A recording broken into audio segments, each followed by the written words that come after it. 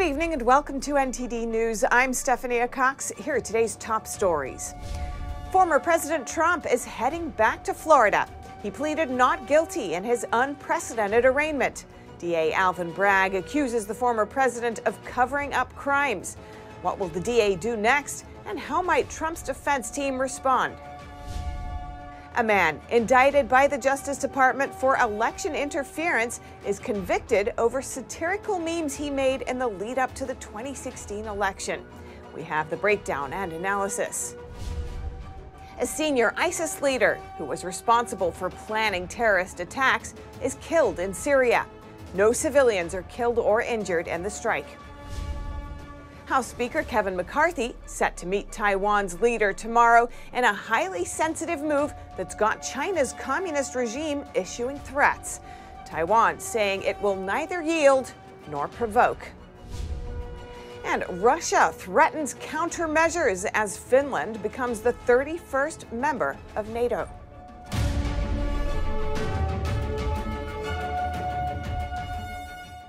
From Trump Tower, Former President Trump left early this afternoon, riding in a black SUV with Secret Service agents just minutes before discreetly entering the tightly guarded Manhattan courthouse, where he surrendered himself for fraud related charges. The indictment against him was then unsealed, describing the crimes he's accused of. The former president pleaded not guilty. What happens next? NTD's Arlene Richards has the latest developments. Former President Trump traveled to the Manhattan Criminal Court today for an unprecedented and history making appearance before a New York State judge. The first former president to face criminal charges. He posted on social media from a black SUV on his way to the courthouse. Seems so surreal. Wow, they are going to arrest me. Can't believe this is happening in America. The NYPD and the Secret Service kept the former president's visibility low. Trump giving a quick wave before entering the courthouse. The former president was processed and fingerprinted before appearing before Judge Juan Merchan. The unsealed indictment revealed 34 felony charges of falsifying business records in the first degree. The charges date back to several checks allegedly signed by Trump in 2017 and paid to his former attorney Michael Cohen as reimbursement for a hush money payment of $130,000 that Cohen paid to adult film actress Stormy Daniels. These payments were allegedly labeled as legal expenses. The indictment claims that was done with the intent of covering up another crime, the other crime is allegedly suppressing information ahead of an election. Trump has pleaded not guilty. Tonight, Manhattan DA Alvin Bragg gave a statement after Trump's arraignment. The defendant repeatedly made false statements on New York business records. He also caused others to make false statements. Bragg said the evidence will show that Trump did so to cover up crimes relating to the 2016 election. People from both sides weighed in. We feel like this is uh, unequal justice under the law. I think it's well appropriate, and he's not above the law. He's not the only president that has something against him. Other presidents in line have had done things. It should come out, and he should be uh, held accountable like any other person. Attorneys differed on the consequences of the charges. Once he decides what he's going to do, then he will officially be part of the criminal process. He's going to be a defendant in a case. And that, in that instance, that is going to distinguish this former president from any other former president. This is about the entire scope of what we understand as the rule of law and the constitutionally protected civil liberties in our country. But President Biden is remaining mum. I have no comment on that. Mr. President. At a rally outside the courthouse, GOP Representative Marjorie Taylor Greene called it election interference. Trump is expected to return to Mar a Lago tonight, where he will hold his own press conference. In the days ahead, the prosecution will turn over all evidence to Trump's defense team. Trump's attorneys are expected to file motions to dismiss the case for different reasons, including that the statute of limitations has expired and that Trump was already prosecuted by the previous district attorney. Arlene Richards, NTD News. A man who posted memes about the 2016 election has been found guilty of election interference and conspiring against the right to vote. 33 year old Douglass Mackey is now facing up to 10 years in prison. The conviction has some observers sounding the alarm over what could be the broader implications of this conviction. I recently spoke with a journalist who's been following and covering this story extensively. The founder and editor of Revolver News, Darren Beattie breaks it down for us. Darren Beattie, welcome to our show. Thanks for coming on again. Fantastic to be back. Thank you.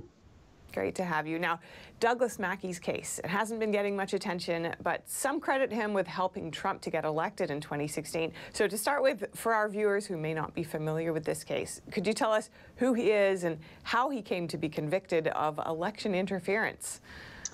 Absolutely. So, Douglass Mackey is the real life face behind a compelling internet persona known as Ricky Vaughn. MIT did some kind of ranking of the most influential media accounts in the 2016 election. And Ricky Vaughn's account actually bested a lot of very, very well resourced mainstream institutions, including, I think, NBC. So he's punching well above his weight. And part of the reason for that was the effective use of memes. In fact, one of the most kind of ex- exciting and interesting aspects of the 2016 election is how the kind of the meme culture of the internet was uh, opened up and became this formidable political force in its own right. And Ricky Vaughn character was very much a part of that. And problem with being incredibly effective is you irritate very powerful people.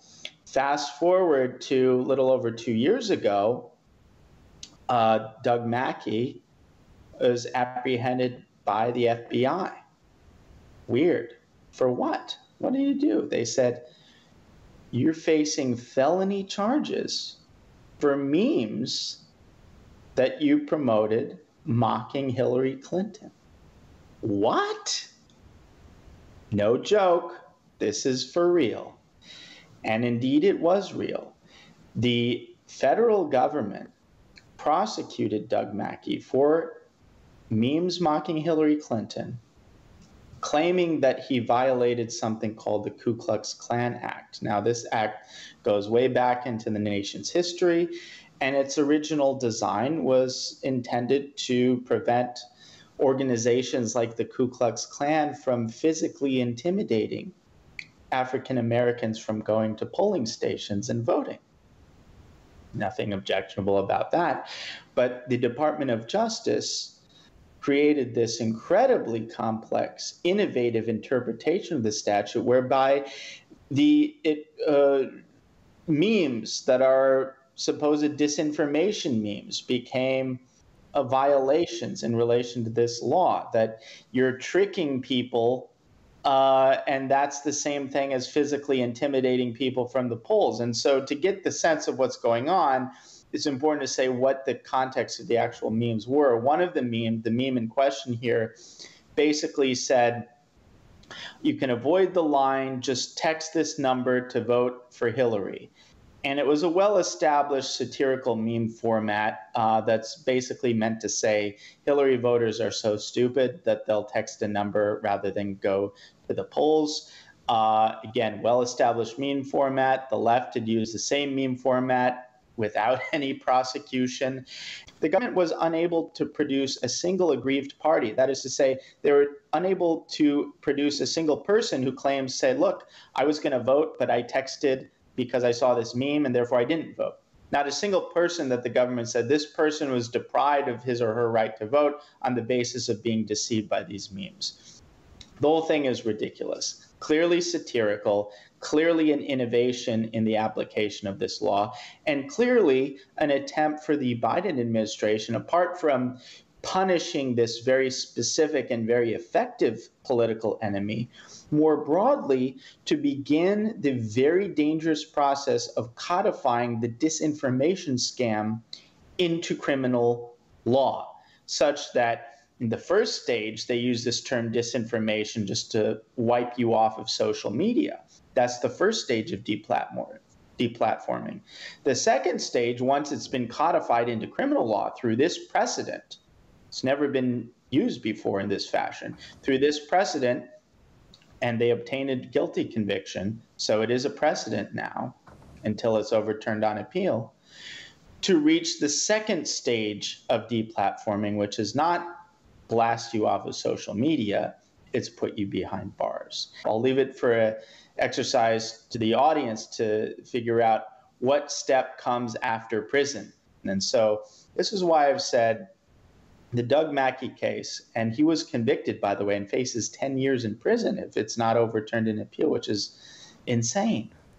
This case is just as important to the First Amendment as the Kyle Rittenhouse case was to the Second Amendment. It is indeed the most important First Amendment case in this country in a very long time. So, what do you think that people can do if they're concerned about this issue and they want to help out somehow? You can familiarize yourself with the details of the case, and you can do that at revolver.news. We've written about this case extensively, and you can support the Legal Defense Fund for Doug Mackey at memedefensefund.com. All right. Darren Beattie, founder and editor of Revolver News, thank you so much. Thank you very much. The United States military has killed a senior ISIS leader in Syria. They say his death will disrupt the terrorist group's ability to plan more attacks. NTD's Jason Perry has the details of the strike. On Monday, the United States Central Command Forces, or CENTCOM, conducted a unilateral strike in Syria, killing a senior ISIS leader. The terrorist's name was Khalid Ayed Ahmed al Jaburi, and no civilians were killed or injured in the strike. Al Jaburi was responsible for planning terrorist attacks in Turkey and Europe. He also developed the leadership structure for ISIS in Turkey. CENTCOM says his death will now hinder the terrorist group's ability to plan other attacks. But CENTCOM Commander General Michael Kurilla said, though degraded, the group remains able to conduct operations within the region with a desire to strike beyond the Middle East.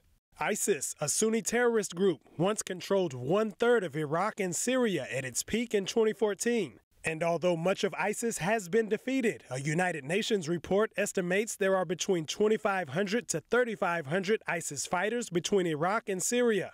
And CENTCOM says it remains committed to the enduring defeat of ISIS. Jason Perry, NTD News. And looking ahead, eyes are watching as a sensitive meeting is set to take place tomorrow between House Speaker Kevin McCarthy and Taiwan's president. Tsai Ing wen's U.S. stopover is drawing the ire of the Chinese regime, which claims the democratically ruled island as its own. Beijing has repeatedly warned U.S. officials not to meet Tsai. And the White House has urged China not to use her stopover in the U.S. as a pretext to increase aggressive activity against Taiwan. The regime fired missiles near Taiwan last year after Nancy Pelosi traveled there, and it sanctioned the then House Speaker and her family. Taiwan's de facto embassy in Washington said of tomorrow's meeting, during transits through the U.S., the president engages with American friends in line with past precedents. McCarthy previously said that he hoped to visit Taiwan. And on the economy, the financial world today analyzing the annual letter from JP Morgan CEO. He made predictions about the current banking crisis and surprising warnings about China. JP Morgan Chase CEO Jamie Dimon sent his annual letter to shareholders on Tuesday, saying the banking crisis is not over yet. In this 43 page message, he said, The current crisis is not yet over, and even when it is behind us, there will be repercussions from it for years to come. The banking system currently is under renewed stress after the failure of Silicon Valley Bank and Credit Suisse's rescue by UBS last month. The letter reads The stock market is down and the market's odds of a recession have increased. And while this is nothing like 2008, it is not clear when this current crisis will end. According to the CEO, the risks that led to the current crisis were hiding in plain sight. For example, interest rate exposure and the level of uninsured deposits at Silicon Valley Bank. Dimon also made blunt statements about the strategic risks China poses, saying China, using subsidies and its economic muscle to dominate batteries, rare earths, semiconductors, or EVs, could eventually imperil national security by disrupting our access to these products and materials. We cannot cede these important resources and capabilities to another country. It's not common for a global business leader to make such direct statements. Reporting by Arian Pastar, NTD News. And in health news, if you're using Ezricare or Delsam Pharma eye drops, watch out. The FDA says the product's Indian factory couldn't ensure its products are sterile after a number of deaths and injuries were linked to the drops. In a new report, Food and Drug Administration officials uncovered about a dozen problems with the, how the manufacturer, Global Pharma Healthcare, made and tested its eye drops. That was during an inspection from late February through early March, in which officials found a dirty environment and only manual visual inspection to ensure bottles were sealed. The drops are linked to 68 bacterial infections in the U.S., including three deaths and eight cases of vision loss. Four people have had their eyeballs surgically removed due to infection. The drops were recalled in February. And in Europe, Finland today officially became the 31st member of the NATO Security Alliance, a historic policy shift brought on by Russia's invasion of Ukraine. Moscow threatened countermeasures. Finland has formally joined NATO. Thank you very much. Well, with receipt uh, of this uh, instrument of accession, uh, we can now declare that Finland is the 31st member of the North Atlantic Treaty. The Finnish flag on Tuesday rose alongside 30 other flags at NATO headquarters in Brussels. The President of Finland called it a great day for Finland and an important day for NATO too. Security and uh, stability are those elements which we feel very strongly. And uh, well, we can all think that if uh, people can live in secured, stable circumstances, that's the basic element of uh, happy life. Uh. Russia and Finland share an 800 mile border, roughly doubling the length of the border that NATO shares with Russia. People in the Russian city of St. Petersburg, which is less than 100 miles from the Finnish border, reacted to the news. I don't think anything will change for us. It will only get worse for the Finns because we don't go there and they'll incur only losses from this, by and large, as we have nothing to share with them. They have their lives, we have ours.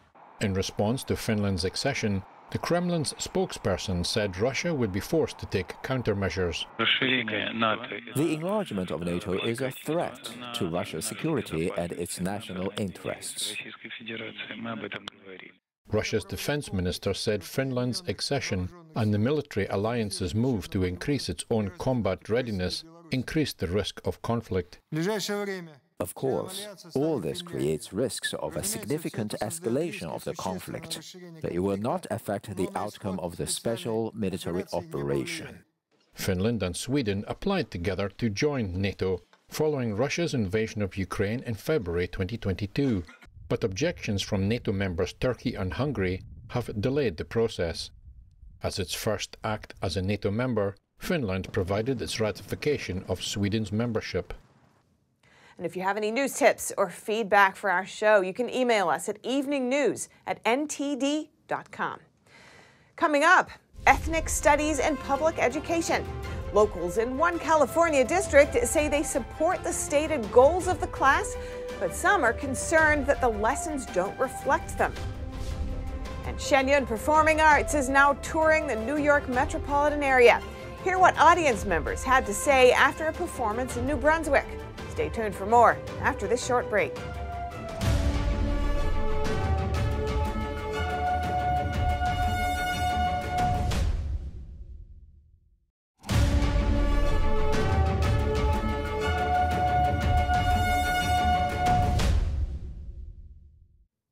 California School District is struggling to move its ethnic studies program forward. Not everyone in the community agrees with the program.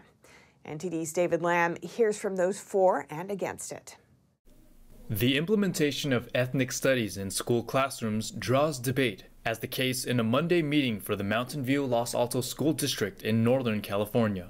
I received from various people in this district that this curriculum would be focused on legislative intent I am upset to see that instead it focuses on radical and violent ideology rather than highlighting the many contributions and social advancements made by minority communities in California and throughout the U.S. Oppression is a part of our history. We can't erase it. We can't pretend it doesn't exist. We can focus on the contributions of all the people that make our country great. According to the district, ethnic studies is the interdisciplinary study of race and ethnicity, with an emphasis on the experiences and contributions of people of color in the United States. And with the approval of Assembly Bill 101 in 2021, one semester of ethnic studies becomes a requirement for high school graduation for the class of 2030. Some appreciate the opportunities to learn and discuss different histories and ethnic identities. And I thought that this course allowed me to see myself, and it wasn't something that was available for myself or for my siblings, which is what I spoke about. And the amount of different things that I went through in school, this would be imp- uh, hugely impactful in helping to combat that. And I'm really excited for, for the students who are going to continue to take the course. Others say the curriculum leans toward a negative lens of different groups of people. For them to understand the world is not that simplistic. It doesn't have just two classes. The ones has the power and the ones who are victim. And they use this exactly a political jargon in China had a cultural revolution to have kids, young generation kids, overthrown the government, uh, overthrown the authorities. Currently, there are only five teachers teaching ethnic studies at this school district, and one teacher expects that number to triple in the near future. More meetings are tentatively scheduled for April. Reporting in Mountain View, California, David Lamb, NTD News. A failed space launch, and now the company is filing for bankruptcy. Virgin Orbit already laid off the majority of its employees last month amid a lack of funding. Virgin Orbit filed for Chapter 11 bankruptcy on Tuesday after it failed to secure the long term funding needed to help it recover from a January rocket failure. The Long Beach based company lodged the filing in the U.S. Bankruptcy Court for the District of Delaware. It's seeking to sell off its assets after announcing a layoff of roughly 85% of its 750 employees last week. In a statement, the company's CEO said, At this stage, we believe that the Chapter 11 process represents the best path forward to identify and finalize an efficient and value maximizing sale. The company listed assets of about 240 million and its total debt at about 153.5 million as of September 30th in the filing. Virgin Orbit went public in 2021 through a blank check deal, raising 255 million less than expected. The company's sixth mission in January, the first rocket launch out of Britain, failed to reach orbit and sent its payload of US and UK intelligence satellites plunging into the ocean. Shen Yun Performing Arts stopped in New Brunswick over this, the weekend. It's the company's first performance of the season in New York metropolitan area. Theatergoers said they appreciated the beauty of the performance and the culture it presents. Let's take a look. Shen Yun starts its tour in the tri state area with four performances in New Brunswick, New Jersey from March 30th to April 1st. I love the show. It's absolutely beautiful. I've never seen anything like it. It's unbelievable. I mean, the colors are beautiful. It's uplifting, and then I'm crying. I mean, it's just a really beautiful, beautiful show. Beautiful. This is absolutely amazing. It's gorgeous. Uh, the tradition, the uh, the dancing, the costumes, unbelievable. The state of New Jersey presented a joint legislation resolution recognizing Shen Yun Performing Arts. The city's mayor also honored the group with an award. What's more, theatergoers shared their appreciation of Shen Yun's mission to bring back traditional Chinese culture from before communism. I think it's a very valuable mission that has to be completed. Um, I think it's important that um, everyone knows that no government has the right to destroy anyone's culture. They pointed out that the values shown in the performance are spiritual and universal. I thought there was a tremendous amount of energy, and I think that it sort of, you know, relates to all religions and all cultures and all feelings of divinity. It's important to, to follow your faith. You have to understand that we all have a creator and that evolution and atheism really isn't the truth. Beyond the artists, audience members commended Shen Yun's production crew. Many added they would recommend the performance to others. So I can't wait to let everyone know what we think. I would recommend it to everyone. It's a beautiful show. It really is. I would absolutely recommend this show. I go to Broadway often, and this is unlike anything we typically see, so it's a wonderful thing to come and see. Starting this Thursday, Shen Yun will take to the stage at New York City's Lincoln Center for 13 performances through April 16th. NTD News, New Brunswick, New Jersey. And that's all for today's news. Thanks for tuning in. I'm Stefania Cox. Good night.